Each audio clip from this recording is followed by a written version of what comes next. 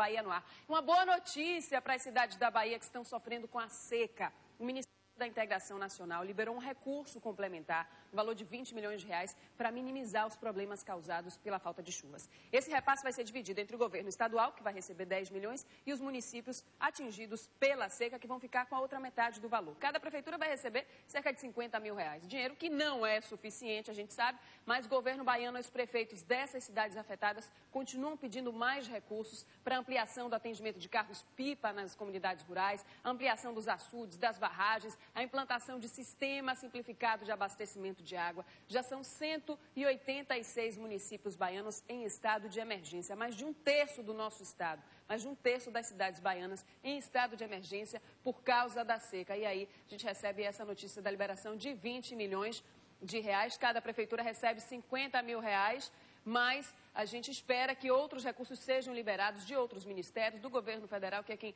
pode enviar essa ajuda aqui para a Bahia, que está passando por essa, essa, essa situação muito difícil há muitos meses, sem chover em diversos municípios, em quase 200 municípios da Bahia não chove há muitos meses, então as pessoas passando por necessidade, famílias, animais, todo mundo em dificuldade, então a gente recebe essa notícia agora. Vamos saber como é que fica o tempo